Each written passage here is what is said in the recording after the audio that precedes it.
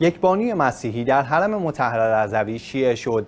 بانوی مسیحی جوانی از کشور بلاروس همزمان با روز زیارتی حضرت علی ابن موسی رضا علیه السلام در حرم مطهر رضوی به دین مبین اسلام و مذهب حقه تشیع مشرف شد.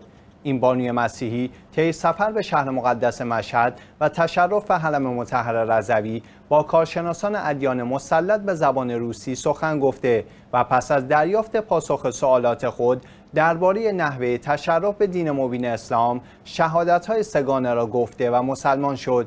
این بانوی بلاروسی گفت پس از تحقیقات و مطالعات فراوان اسلام را به عنوان کاملترین و بهترین دین یافته و مذهب تشیع را برای خود برگزیدم شان ذکر است دستندرکاران در بخش زائران خارجی آستان مقدس رضوی نیز هدایایی متبرک به این بانوی تازه مسلمان اهدا کردند.